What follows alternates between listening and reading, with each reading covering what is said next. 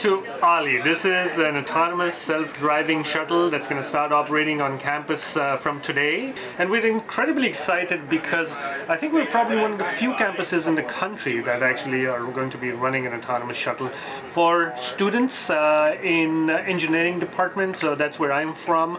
Uh, it's an incredible opportunity to learn about uh, the how these shuttles operate. Are they safe?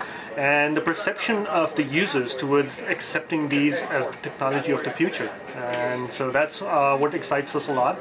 And obviously serving our uh, campus community as well in terms of their mobility needs, that's the other part of it. Right, so this uh, is the control panel and also a screen which shows the route that Olli uh, takes. And basically Olli has sensors outside, including a camera and something called a LiDAR, which is a laser that's constantly monitoring the environment around it. And that's displayed here um, on the screen. And there will be an attendant while Olli is operating on our campus.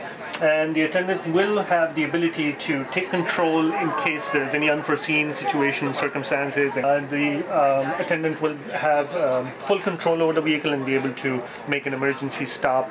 And so that's what these controls are all about. Um, and now it's up to us and the students and everybody around campus to just interact and just see how it works and see if everybody likes it, uh, refine the service, refine the product. It's really one of those one of those cool collaborative uh, deals over the next three months.